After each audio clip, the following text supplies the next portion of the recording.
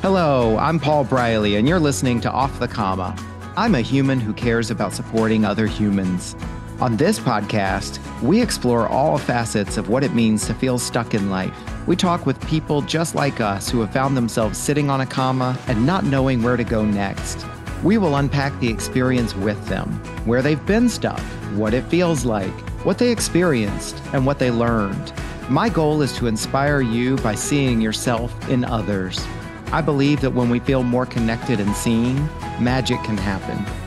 If you find yourself sitting on a comma in your life, remember you can also talk to me without a microphone. To explore coaching with me and getting off the comma in your own life, book a call with me at offthecomma.com. In the meantime, let's get into this week's conversation.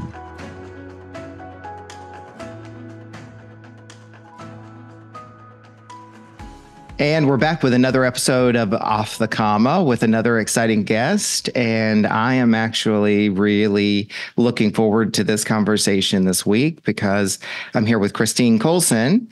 And she is another one of my newer colleagues and friends from across the pond over in the United Kingdom. And um, she and I have gotten to know each other just a little bit over this past year. And I'm looking forward to getting to know her a little bit more in our conversation today. So with that, Christine, I'm going to turn it over to you and and uh, let you kind of start doing the talking. Christine, tell us how would you like to be known? Hi, Paul. Um, I always think it's a bit strange to sort of describe yourself, um, but when when forced to come up with three words, um, I like to think I'm quite honest. I'm quite blunt in that regard as well. People tend to know where they stand with me. I'm quite understanding, I think, in that both sort of empathetically, but also I'd rather know where I stand, deal with it, and move on, if that makes sense. And mm. I, I like to think I'm quite witty. Mm. I am um, a bit of sense of a sense of humor there. Okay, so the humor makes uh, makes for the wittiness. Yes, but I might have just, yeah, if this turns out to be a really droll podcast, I apologize for that. just set it up. oh, I'm so funny. You're I really going to laugh. we have a, a, saying in the States. I don't know if you use it over there in the UK, but it's like, oh, I hope this doesn't make a liar out of me yeah, well, yeah, yeah, that makes sense. nice, Christine. Um, I I have no doubt, and this is how I know you as well. So I have no I, no doubt that this is going to come through in your story today. Um, what else would you like for folks to know about you before we get started? So I'm Christine. I'm, I'm in my, I like to say early 40s. I live in Derbyshire in the UK, which is part of my story. Um, I work as a radiographer in the in the NHS, and as you know, Paul, how I met you, I'm also I don't drink, and off the back of that, I'm also a sobriety coach. But um, yeah, so but it's a personal story that I'm I've brought to you today. My personal nice. comma Okay. Well, I'm looking forward to getting into it. Um, before we actually start with the the the five questions that provide the framework for each episode, I, I want to do something that I do with all of my guests, and that is, as you think ahead to the story you're going to be sharing, the conversation we're going to have over the next 45 minutes or so, what intention would you have for yourself, Christine? Um, I, I, the intention is a bit of closure mm-hmm. and a bit of acknowledgement of the comma and the fact that I'm past it. And um, yeah, it's it's quite a big one in my life. So sort of just part of the process of working through it and putting it behind me, to be honest. Mm, okay. Um, well, I'm hoping that we can give you the space to do that today. And that is actually one of my intentions is to be able to create space and create that conversation so you can share your story. And also in sharing your story, not only do you get the closure that you're looking for and and that acknowledgement, but that others out there who are listening to your story see a little bit of themselves in you and your experience. And in doing so, it helps them feel a little bit more connected, a little less alone, and in the best cases, a little inspired and empowered to maybe do something different for them themselves and change the narrative of their story. So fingers crossed. Nice. Okay. Well, Christine, you and I haven't really talked about what you're going to be sharing today. So I'm looking forward to hearing this story as well. So let's jump in with the first question. Christine, where have you found yourself sitting on a comma in your life? Well, my comma lasted probably three years. um, four years at a max, but um, and it's a, quite a geographical comma. So mm. I found myself very much stuck in my previous home. Mm. Um, I'd moved to the town in Yorkshire um, back in 2012 for work um, in the NHS. Um, and I've worked in various hospitals in the area. And I bought my house there um, in 2014, full of intentions, you know. And I first, one of the first things I did was decorate it. It didn't need that much doing to it, but I re- wanted really, after years of renting, I was really excited about getting settled, um, creating my home that I really wanted to live in, and it went quite well. Um, there, there was a situation in my employment that was difficult and um, back in 2016, I had a little bit of mental health um, turmoil, and I ended off ended up being off work for seven months. Mm. And what I've what I found was that sort of so that was 2016 and then sort of the next few years I, it was i was surviving it was fine life was going okay but then sort of the start of the pandemic and my neighbors changed and i sort of really found that um, i was surviving in that house more than than any than ever before and um, yeah that and that especially since since the start of the pandemic those last four years that was a real three years that was a real sort of comma for me in sorting myself out to to move on because there was a few elements that, that had to be sorted for that to happen. Mm-hmm. so yeah that it was quite a long and quite emotional comma. It, it sounds like it. And and what i'm hearing you describe and as I reflect things back, obviously, if I misstate anything or if there's something that's incorrect, by all means, correct me. Um, that you found it, found yourself in this place that at that point in your life you were excited about and you had intentions, as you said, and, and visions for. And then, for whatever reasons, these circumstances ended up not being quite as you envisioned them. And then life brought you these situations and changes and things. And that place that you had all these intentions for ended up kind of taking a different turn. Yeah, yeah, absolutely. And life changed in that I moved roles. I've changed in my uh, a lot of my life. I, I I got out of a relationship that wasn't amazing. A lot of my life changed, but I was still underpinned by being in this home mm. that um, that really wasn't wasn't sort of working for me. And um, I didn't see the comma for a lot of the time that I was sitting on it as well. It's one of those things when it's when you're involved and in you're you're in the middle of this thing, it's hard to sometimes see and realize that you're there. But yeah, it was yeah, the it was it, obviously your home is such a massive part of your life, and it mm. impacts you in so many ways. That uh, yeah, it was quite it was it was really difficult. It was really tough. It sounds like it, and and I'm curious. We'll obviously expand on this with some of the other questions, but I, am really curious while you're in this space, all of these things that are happening, and and yet the home feels like it's carrying the brunt of, or or, or kind of holding all of these feelings and emotions for you. Mm-hmm. I'm curious. What what was it about the home that kind I of think, underpinned everything? I think it highlighted for me the fact that I was in a town that I didn't want to be living in. I, it's not near, you know, the, I was saying it's not near the people I love, both family and friends. Um, I moved to that town specifically for work, knowing no one. So mm. a lot of the relationships and friendships I'd made were through work. So when I ended up leaving a certain employment, um, I had to cut them off for my own mental health. So I and I found new friends and worked in different places and I've built I've built up the friendships. But also the home was quite a it symbolized a lot with my mental health. If I'm struggling, my tidiness is the first thing to go. I had a counselor back in years ago, like 10 years ago, that once when I turned up for a session, she said, When was the last time you did your washing up? And I was like, Oh, now that's quite an insightful question. You know, it is always the first thing that I don't do. And and I, I was I was drinking too much, especially in the last few years. Um, I was, it's, I was buying stuff thinking that it would make me happy and it didn't. So I had a house full of stuff. I'd sign up for things, you know, I'd have all of these great intentions. Oh, this this thing I'm buying is about to change my life. It never changed my life because mm. my because I my, my I, I, that wasn't what the problem was.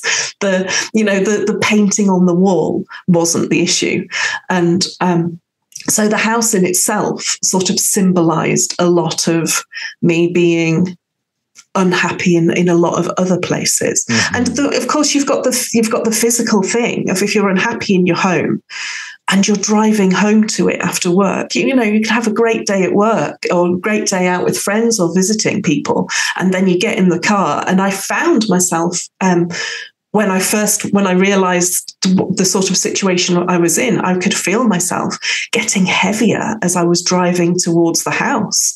And that was sort of when I realized, and that's well, I, well, I don't want to jump, I don't want to make you jump around a bit, but you know, that's when I realized I needed to stop drinking and I needed to really sort of work on myself and stuff. It, the, it wasn't the house's fault but it was very symbolic, even with the neighbors when they moved in. And um, I didn't deal with the issues that we had amongst ourselves particularly well because I wasn't in an amazing place to do so. So even then, the, that the neighbours became symbolic of more unhappiness. So mm. yeah, it's um, it's quite a big it's quite a big symbol in my life. That house, I think. Yeah, and that's really coming through, and I can hear kind of as a container all of the things that your house held for you as you keep referring to the unhappiness and and if i'm taking you too far ahead in the story then just tell me but what was that unhappiness? What what is this ultimately representing yeah, can I just say if you can hear a cat jingling bell, that's because my cat has just appeared at my I feet. Love it. So, I love yeah. it. I'd, I'd, love to lock him up, but he will just destroy the room I've locked him into. oh, and so, my experience with cats is you put them behind a door and they're going to double or triple the, yeah, the noise. Ab- yes, absolutely. Sorry, what I've because he's put me off. Oh, I missed your question. No, Sorry. that's okay. The the house as a symbol of your unhappiness. What what was it? What was the unhappiness? It, you've described um, a lot of things, but if you could kind of yeah. summarize it, how would you summarize it? Oh, real self unhappiness, a bit of self loathing, mm. um, incredibly lonely um, because I wasn't okay with myself, I think. Um, there was I was quite unkind to myself in a lot of ways. Mm-hmm. I can say, looking back on it now. Mm-hmm. So um, I there's various things that I've used in my life as my identity. You know, I'm single. I don't have kids. Um, I was always quite proud of the fact that I changed career from finance to become a radiographer. You know, I, I, I, wanted change. I made change happen. Look at me. I'm, I'm doing what I wanted to do. Mm-hmm. And when that didn't go to plan, I think I took that as a bit more of a failure. When I took more of that as my own issue when actually it wasn't. But I'm not going to go into. I don't want to drag all that whole situation up, you know. But I, I think I blamed myself for more things and that um, that yeah, that was real self. Uh, yeah, real self-loathing actually over the years. It it sounds like disappointment too. Mm, yeah. Because um, and again, I'm just what's coming up for me as I'm I'm hearing and, and thinking about your story, and and unfulfilled expectations there were all these hopes and, and dreams that didn't go as planned. yeah. Yeah. And I think I wasn't back then, I wasn't as I wasn't as able to cope with things not, not necessarily going to plan. I've been very fortunate in my life um, that things have sort of gone okay. you know, I got into the university I wanted. I did all right in my career in finance. Everything sort of worked out. Uh, love life aside, but well, that is disastrous. But um, we can all but, share stories, right? absolutely. Yeah, that's a whole different podcast. Mm. But you know, everything sort of everything everything yeah it was very much disappointment and it's funny because i've just remembered because i got a first in my degree to become a radiographer in the uk you've got to do a degree so I, i'd done a degree when i was 18 and then i had to go back to university and a lot of people um, were a bit cynical in a way. Why are you giving up a career to go back to being a student? Mm-hmm. You know, I'd I'd saved a bit of a house deposit and I was then going to have to use that to live off. And I came out with a first, a first class degree. But to me, I think that was the only option that I gave myself. Because if I'm going to give up a good career to do something differently, I've got to prove that I can. You know, I've got mm-hmm. to prove that mm-hmm. I'm good at it. And then making choices that perhaps didn't go to plan. Um, yeah, I think yeah, disappointment and not knowing how to how to let myself off with that really. Yeah. Well, and it also seems like I mean you yourself just said like this this is interesting right because it's it's not just a container it's also a chapter and it seems like it's also all of these disappointments and your first time dealing with them Mm, yes. So, yeah. sort of like this house represents an intersection of so many pathways in your life. Yeah, yeah, absolutely. Yeah, and it looked it as well. You know, when I say, you know, I was buying stuff, it, it, you know, they, there were there was jokes within my friends that I've become a bit of a hoarder. Ha ha ha ha ha. And actually, I that that wasn't funny as it mm. turned out. Do you know what I mean? That the the the the physical way that my mental health decline was showing itself by mm. things like not necessarily keeping the house as clean and tidy as I could do. There was things that I would always do. I'd always make sure the cats were okay. You know, I'd always mm-hmm. make sure that they were sort of sorted, and then then I would just wouldn't necessarily look at, look after myself. But I definitely don't think at the time that anyone who just saw me would have known that. Definitely my friends and my family. I did not let on that i was going through that through that difficulty.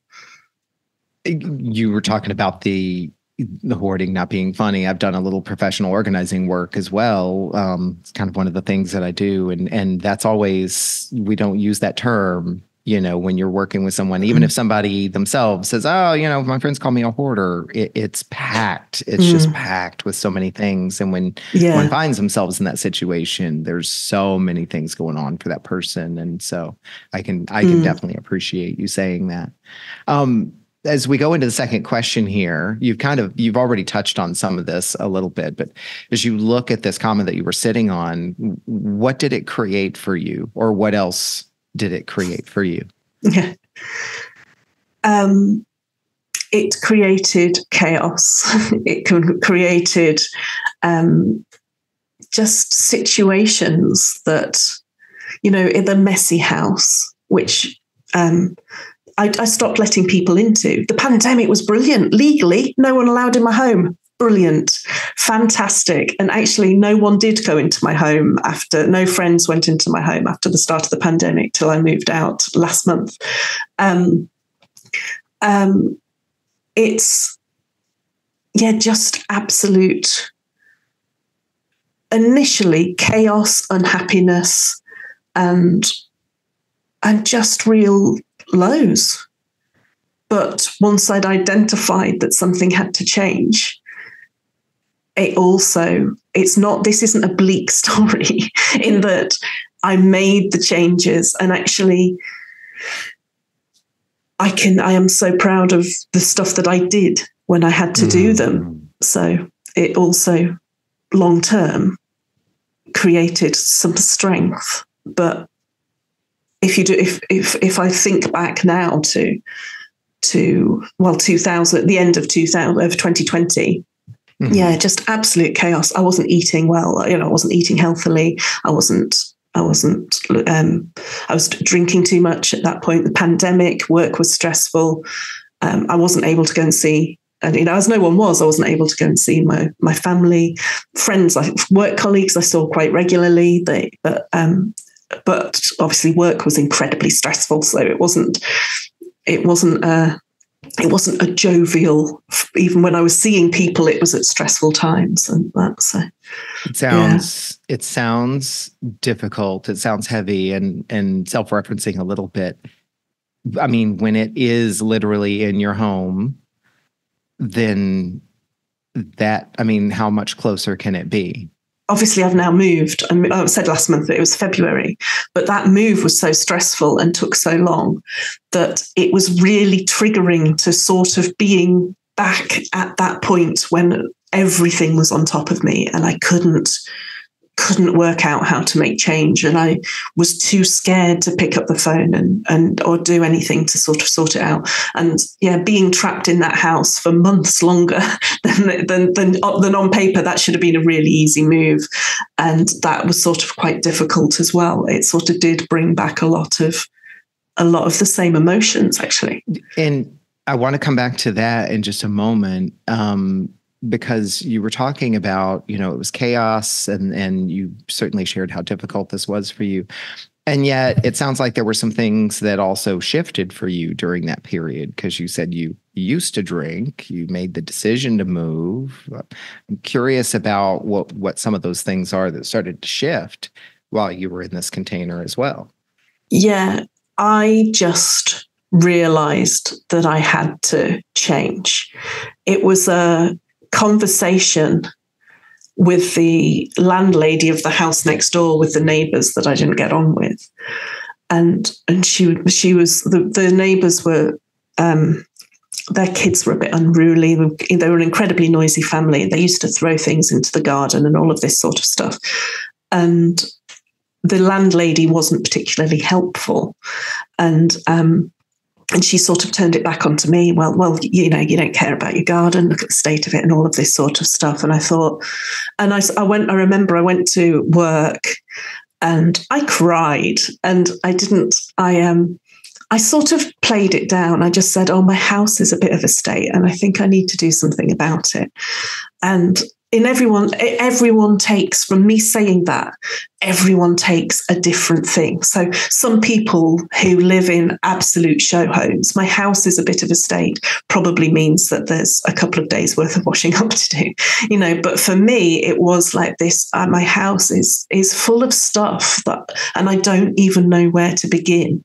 So I sent an email to a company actually um, a cleaning company that dealt with sort of extreme cleans and said, Oh, I think I need help here. And I had a really nice, really sympathetic phone call um, with one of the well with the owner of the company and I, and I arranged for some cleaners to come and help me out and that was that was the start of it. That was me going, actually, I'm taking the, I'm taking control of this. And it's a bit annoying that it was the landlady that was the catalyst for me to make it real, to make the change. But then once the house was sorted and I wasn't, I was still drinking a lot. And you know what it's like? Everyone drinks for their own reasons. And I always think with that grey area drinker, you know, you, there's a sliding scale between um, being a normal fine drinker and being dependent. And I think my reasons for sliding down that scale were definitely my unhappiness at home and really wanting to numb it out.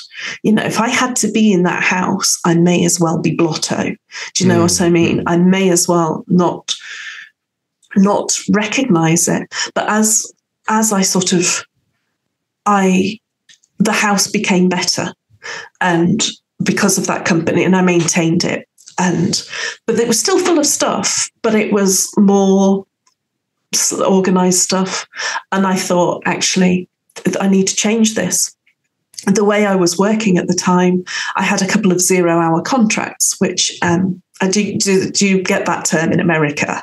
Uh, so I, I wasn't employed by I didn't have a contracted number of hours at any employer. I had a couple of places where I worked on an ad hoc basis. Mm. So if they had the shifts and I wanted to work them, I would work them. If they mm. didn't have the shifts or I didn't want I, they weren't uh, they weren't obliged to give me any work and I wasn't obliged to take any work from them. But what that did mean was that financially I wasn't in a particularly strong position. I was hmm. earning money, but it was, and I was financially i wasn't that was one thing that wasn't um, that wasn't really an issue other than perhaps my overspending on crap. Um, and i thought that was another thing that i needed to then do. It's like well actually if i'm going to move I need to sort out my finances because even if I take my mortgage with me, it's still another mortgage application. They're still going to look at my finances. They're going to look at my employment. They're going to look at my credit score.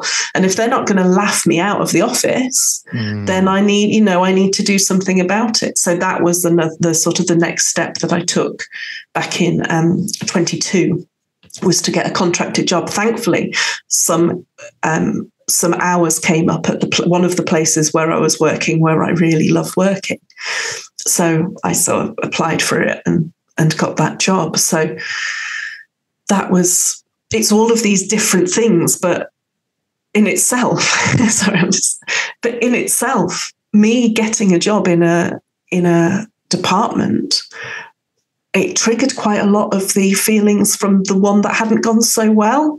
Mm-hmm. So even that it's it's it was emotionally difficult to do it. And they used to lovingly laugh at me because I when they gave me my locker because I never had that when I was on the zero hour contract and mm-hmm. I used to mm-hmm. bring a little I used to bring a little um, you know like just um, reusable cup and that I and I would carry it that around in my handbag. And I'd bring my my uniform with me every day and, and trainers and everything with me every day. And um, and I'd, I'd, leave. And I, I wasn't I was like the littlest hobo. I'd move on to the next place. You know there was no I didn't have that commitment. So they couldn't they couldn't if if it got difficult I could leave. I didn't mm-hmm. have to take any shifts. And um, and even just getting that contract and then saying, right, there you go, there's your locker. And by the way, this is the cupboard where you can keep your mug. It took me months, absolutely months before I used that locker and before I and before I put a mug in that in that mm. little cup drawer, just because it was like, mm, yeah, I'm not sure I'm ready to commit to a, a place of work.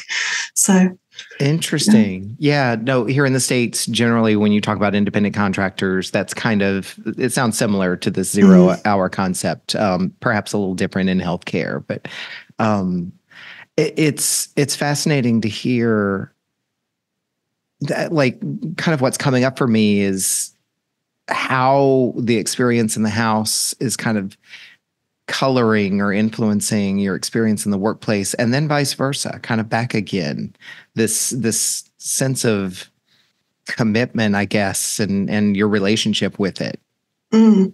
i'm not really sure where i'm going with that yeah I, I, think yeah i think i know what you mean it's it's it's incredibly intertwined the mm-hmm. two situations because i suppose to own a home you need financial stability and for financial stability you've got to to have a, a good job, you know, mm-hmm, and, mm-hmm. and you've got to tick those boxes. And I think it's that uh, me thinking, right, I need to move, made me address some of the other things that perhaps I'd been ostriching away from and I'd not been willing to to address as well.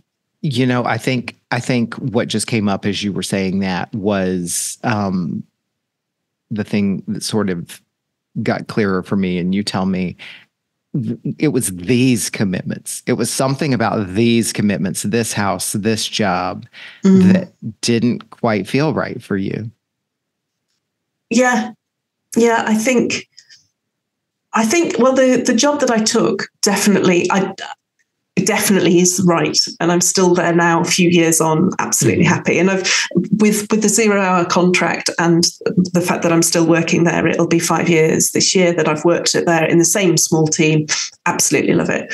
Um, but i think yeah it's it was definitely my experiences in that house albeit like when i was on when i was going through stuff which led to the depression, I was going back and being depressed in that house. Mm-hmm. You know, and and and even yeah, it, I suppose the house is just well, it's where I it's where I survived, I suppose. But mm-hmm. as I said, I think I used the term a little bit earlier. I just existed for so long in that house, really existed. And and you were saying earlier, I, I kind of interrupted you with a different question, but you were saying earlier, even when you moved, it triggered all these emotions again. What were some of the most significant emotions that mm-hmm. you were triggered back to and and mm-hmm. feel like represent that period? Yeah, I felt trapped. I felt trapped, and um, and because I because I quit alcohol at the start of 22, and that was when I just realised it was just doing me no favors, mm. and I was I was numbing stuff out, and it was all you know it was just not it, it wasn't it wasn't you know i did the work people that don't drink will know what i mean when i say that you know i looked at why i was drinking and it was because i was lonely and I was I was lonely and I drank a lot out of boredom and and and just habitually. Um, I think making that change to quit and doing that in the house, albeit a nicer version of the house, because by this point, it you know it wasn't as it wasn't as horrific. I still hated it. I was still mm-hmm. ashamed of it because also by this point I was very aware that there was stuff that needed doing in the house that I didn't want to do. I didn't want to get builders round to quote to do things and so you know it was just it was a house that I didn't particularly like. I wasn't proud of. And I think but yeah, sort of making that when you when you stop drinking you experience all the emotions. You can't numb everything out. So I was doing all of these things for myself and feeling really positive, And it was really sort of amplifying that actually this isn't, you know, this is just wasn't where I needed to be. Mm. Um, and making that choice to move, I really did see it as a clearer start. And it took me ages to get it on the market actually to get the house on the market and that involved skips because i was like i'm going to declutter i'm, I'm going to drop a i'm going to drop a bedroom i'm downsizing so i need mm. to get rid of some stuff so there was the physical decluttering that i had to do just but just physically um getting allowing uh, an estate agent to come into this home that i hated to value it was one of the one of the worst, most stressful, emotion well, not stressful, emotionally difficult days that I've had for for a while apart from like the death of one of my cats. You know it was mm-hmm. i remember i didn't sleep the night before. I was absolutely gutted. And i remember when he told me what the house was worth and it was um it was probably i mean it, it was it was probably 25% more than I thought it would be mm. because I hated it so much. I saw mm. no value in it. Mm. I, and I was actually quite shocked what he said I could sell it for. And it was in, in, in hindsight, and obviously it was it was a good price. It it reflected the work that needed doing and and and all of that sort of stuff. But I just couldn't I couldn't believe it because I just had no value on it. And I suspect that, you know people could you know if, if it was if I was sitting in front of a psychiatrist there's probably some sort of link to but the the worth I put on myself when I was living in that house as well but yeah it was it, I, I did I felt so trapped in the process because it took so long and and so this this whole kind of journey as it's unfolded you went from feeling trapped to then realizing you want to change to then starting to make that shift and make those changes. Mm-hmm. Let's go to the third question. What have you learned about yourself as a result of sitting on this comma? Ooh, what haven't I learned? you know, I I can do it. I've I've from a from an emotional, what I've learned about myself is that I'm stronger than I gave myself credit for. I, um, and that I'm, I, I can make changes and I can do it, and I do have the resilience. And I do think a lot of that is the um, without drinking you, you, you know, I am my more authentic self. You know, mm. I, I, I, I am very different as a person to who I was when I started sitting on the comma. Without doubt, I well, touch wood, I will never let myself get into that position mm. again. Mm. Even as I'm unpacking, and today, um, I've been doing loads of sorting around my new home. And that's because it's like, well, i have gone into the tip to get rid of the stuff that you know, like cardboard boxes and things like that, and because it's like I don't want them just lying around, and and every, it's all a bit. I've learned that I need to be more honest with myself initially, and I have been more honest, you know. And if I need help, I will ask for it mm. when I need to. You know, so got a friend helping me with some of the DIY because I'm not going to be that stubbornly independent that person that insists that I can do it myself when actually I can't, so it never gets done. And I think um, if I can survive that house, even just the way I will deal with neighbors, you know, I no one knew I was having the problem with with the neighbors when it was happening.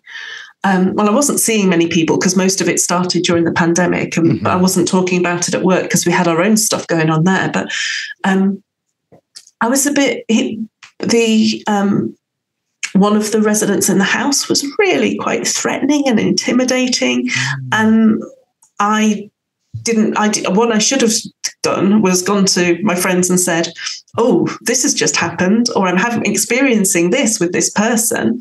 Can I get some advice?" But I didn't. I took it all on board. I I, I was so insular at the time, and I definitely wouldn't do that again. I would mm. definitely be a lot more open and seek help. And and seek help. It doesn't even just need to be from friends. In in hindsight, I probably should have sought um, uh, sort of guidance from the authorities on what to do about various situations but instead i just ostriched and i will never i will never just stick my head in the sand again mm. hopefully mm. i don't think my hmm. friends would let me actually yeah. I don't think. well, and it sounds like so much has shifted for you. I wonder if you would even be able to let yourself anymore because what i'm hearing you describe like everything that you say you've learned and that you're doing differently now seems like it's kind of a direct offshoot of all the things that you described while being trapped and and mm. depressed in the in the old place. And so yeah. like you don't want any of those things. And now you're doing quite the opposite of all of those yeah. things. yeah i think you're right. And and even as i'm planning things around the house and there's been some setbacks builders quotes sure, being one sure. of them you know and all of this like oh okay yeah that is expensive so maybe i need to tweak that instead of i'm i've got a book that where i have it's i've i've i've called it my facts book where i've you know where it's like when it became apparent that I wouldn't be able to do everything that I wanted to make this house you know, perfect within two weeks, you know, that sort mm-hmm. of thing, I've, I've written down my priorities and stages. And so it's like, well, this is how, this is what I want, and this is how I'll do this. And, and I suppose in that respect as well, just making sure I don't have that overwhelm. Mm-hmm. And i am talking to people about it and I'm seeking advice and I'm talking to my, to my parents about, um, about the knockbacks and the setbacks and but I'm not panicking. You know, this is this is a long term home now. Um, and it just it feels so much different. I am so much calmer, mm-hmm. and and things will happen, and they will happen when they need to happen. One of my one of my sober friends has a really good saying: "What's meant for you doesn't go past you," mm-hmm. and I'm a mm. firm believer in that now. And even if it things don't necessarily look don't turn out as the plan was that's fine. That it just turned out that i did the plan wasn't the plan after all. Mm. and as long as i'm holding on to my values and what i i believe then i'll get through it. And that seems like an important point. Something just came up for me because first of all i hear you describing yourself now as more optimistic, more hopeful, more trusting, right? Mm. And, and, yet it's interesting, as you just said what you said, which is, you know, I'm, I'm, more flexible and plans don't always happen, you know, the way you plan them. Mm. It's interesting. That's not really different from what it was before. No. But you're different. I'm different. Yeah. yeah. I'm 100%. I like myself. I'm actually in the middle of writing a blog post, um, half watching Ripley on Netflix. That's going to be an old reference, but that's just, good. Just finished it last night. oh, can't wait. It'll be straight back on after our conversation. Mm-hmm. And I'm, I'm actually writing a blog post at the minute about how I'm really happy and how content I am and how and, and and how it's quite it's this is something that I'm I'm just not used to. Mm. And and I am. I, you know what? I think I'm actually quite a nice person. Do you know what I mean? I'm quite, mm-hmm. I believe I live by my values. I'm really, I'm really happy in my life. And it's not necessarily the life that others want. I know it's not a societal norm life. I'm, I'm, you know, 40, 43, no kids, no, no partner. Um, and people with kids don't necessarily see how I can be fulfilled without them. Mm-hmm. And I can tell, and I speak for for child free by choice people, hopefully everywhere, where actually it can be a fulfilling life. Mm-hmm. And I'm I'm fortunate, I suppose, that I'm child free by choice. And um, although I've never tried, I don't know, you know, that's I can understand that if you want children and you're not having them, that can would be absolutely horrific. It would be an incredibly different situation to the one I'm in. But even just being partner free, mm-hmm. the fact that I can make the decisions on the um, on the wallpaper color, yeah. you know, I can choose exactly how I want this. I, the fact that I live here is entirely my choice. You know, I didn't have to compromise when it came to finding a house. I got the one I wanted because because that's my life. Mm-hmm. And I'm I'm proud that I made those choices from sitting on my comma. I got the help within the house to sort it out. I cleared it out. I I got the I took the job which was difficult to, for me to make that step so that I had the financial security, so that the mortgage company was happy with me. You know, all of those things point to where I am in this home now. Mm-hmm. And and I will definitely, because I am not numbing anything out anymore, if I felt my mental health do- dropping, I firmly believe that I would be on it a lot sooner than I was. Mm. And and I hear as you describe all of these things, and first of all, just an acknowledgement of just how far you've come, and what you created. This didn't just happen to you, you created this. So I want to acknowledge you for that as you've shared with us.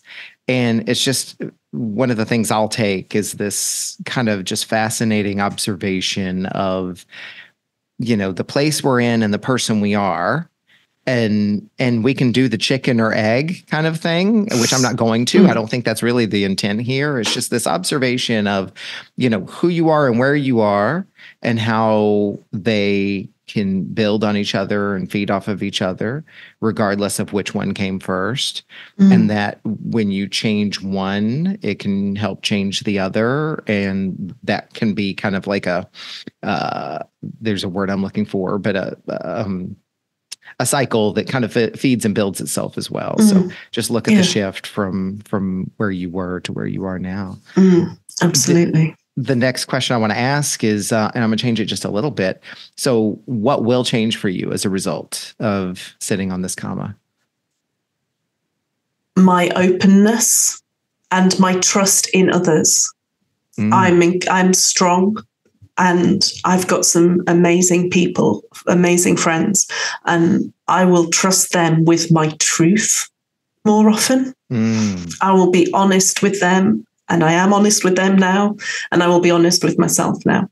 Mm. And um, that is something that I don't think I've ever had the confidence to be before. And I think that is down to going through that comma mm-hmm. and moving on from that comma.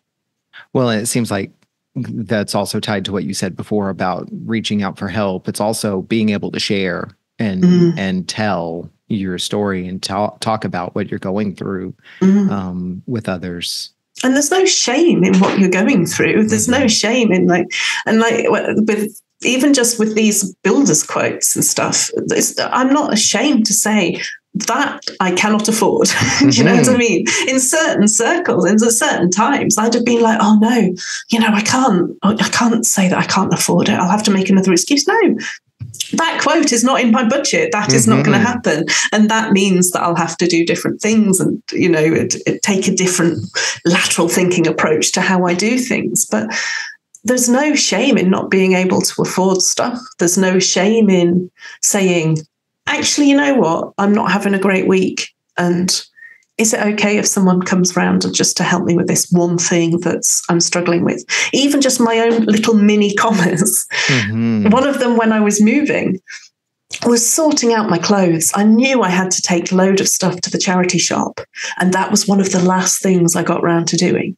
And because I just thought this is just so much. And it, I did it, but Eve, there's just just identifying these little mini commas that I'm sitting on in the bigger picture. Whereas the one I've um, the, I've brought quite a large comma to you. Mm-hmm. Um, and that the, the, comma that I brought to you is like size 76 font. Do you know what I mean? Yeah. Whereas the others are sort of are just in a normal 12. Yeah. And just being aware that these are these are just slight hiccups. They're just stopping points, and I'll I'll do them. Mm. And if I can't do them, I'll get someone. To, uh, there's always someone that's going to help you come and sort stuff out. In the same way that if a friend said to me, "Oh, I'm struggling with this one thing," let's go. Let's let's work it out. Let's break it down. Let's do it together. Yeah. And why, if I can do that for other people, then because of the people I've got around me, they can do that for me too. What I think I'm also hearing you say is that now that I've untangled the big knot, I will kind of tickle the threads regularly to prevent knots. And mm. if knots occur, I now know how to untangle knots. Yeah. Yeah, absolutely. Yeah. yeah. Christine, last question. What does getting off the comma look like for you?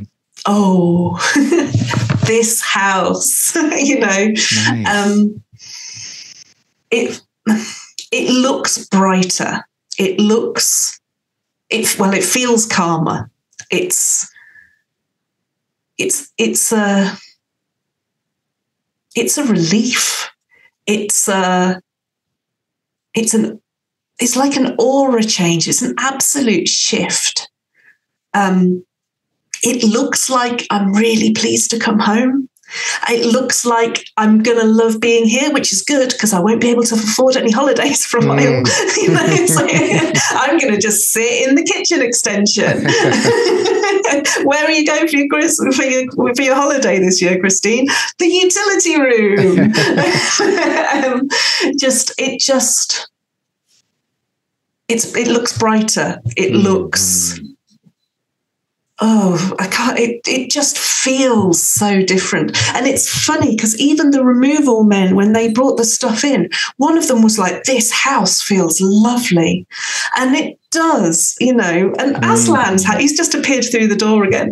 Aslan my cat is so much happier here. He's calmer. And he, he was outside today just sort of smelling he's still a little bit wary because he's not been going out for long.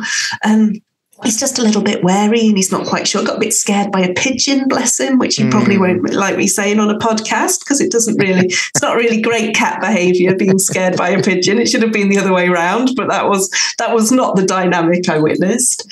And you know, everything is just brighter. Mm. The comma from this end looks brighter. Mm-hmm.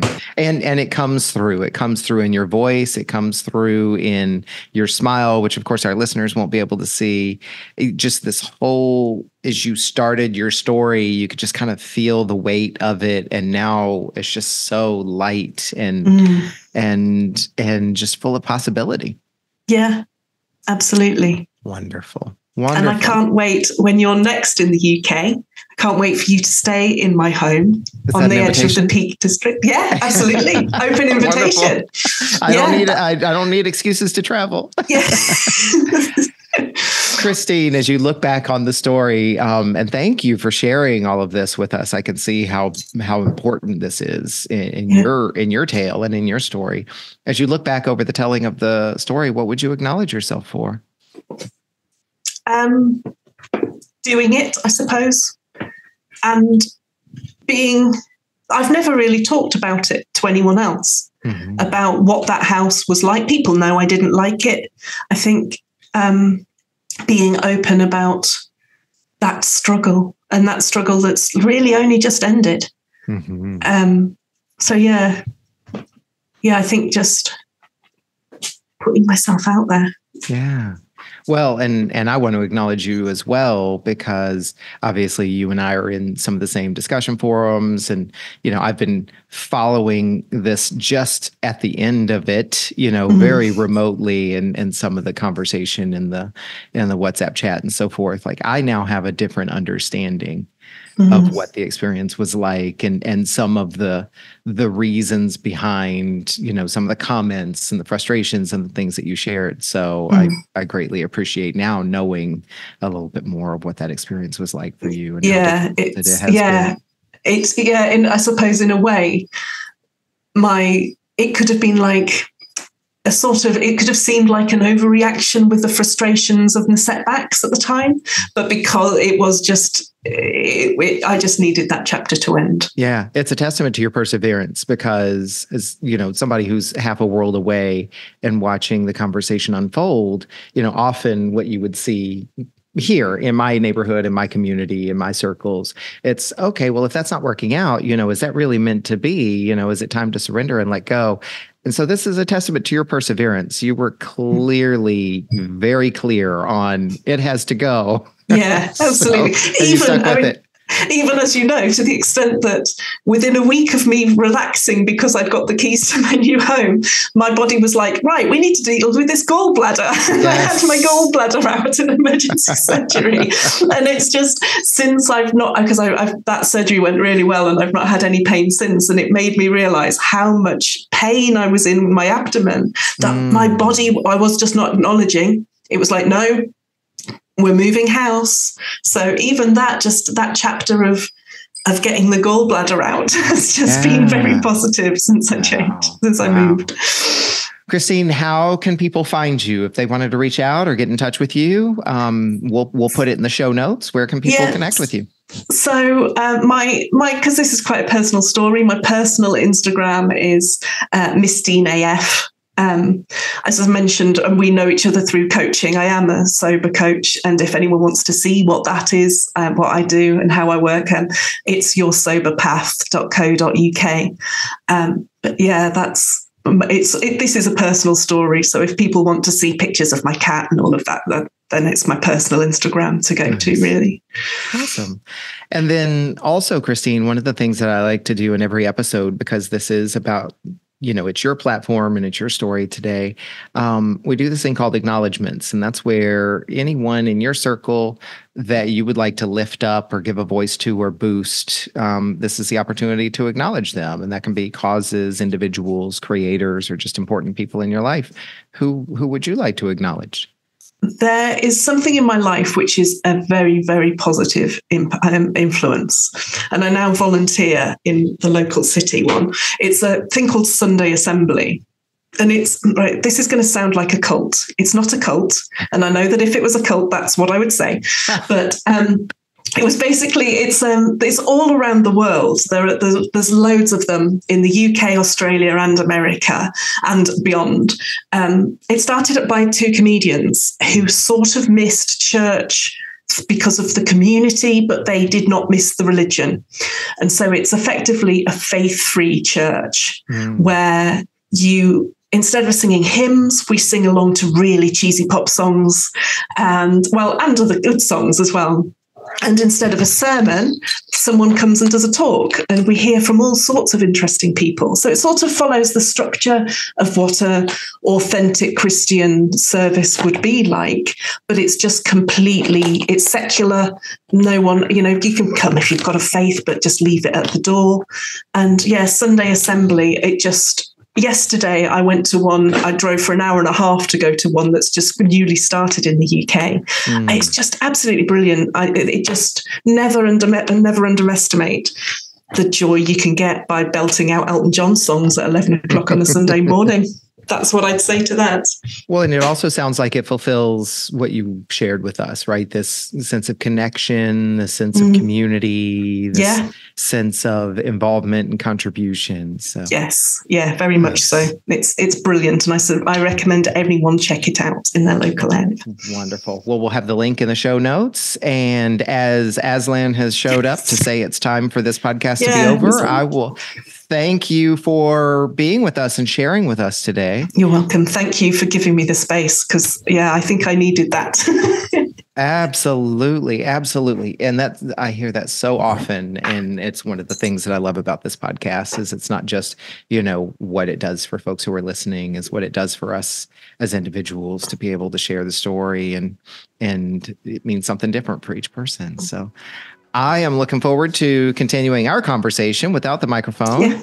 and uh have a wonderful week ahead and we will be talking to you soon. Thanks, Paul. What an honor and a privilege it is for me to witness these powerful stories. I hope you feel the same way too. I invite you to think about what you learned from this conversation. What stood out for you? What challenged you? What inspired you?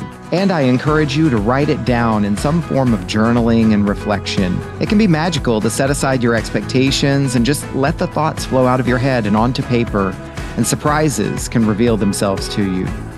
And if you do discover something you'd like to unpack further, book a call with me and let's talk about it. My links are in the show notes. Meanwhile, be sure to like this episode and follow the podcast here on this platform. Also, follow me on social media at Off the Comma. Interact with the posts, share what you learned from each episode, or just share your thoughts about the topic in general. And check out my website for workshops, events, and updates. If you were moved by today's conversation, pass it along to someone you care about. Thank you for listening to this episode of Off the Comma. As always, keep noticing and keep listening.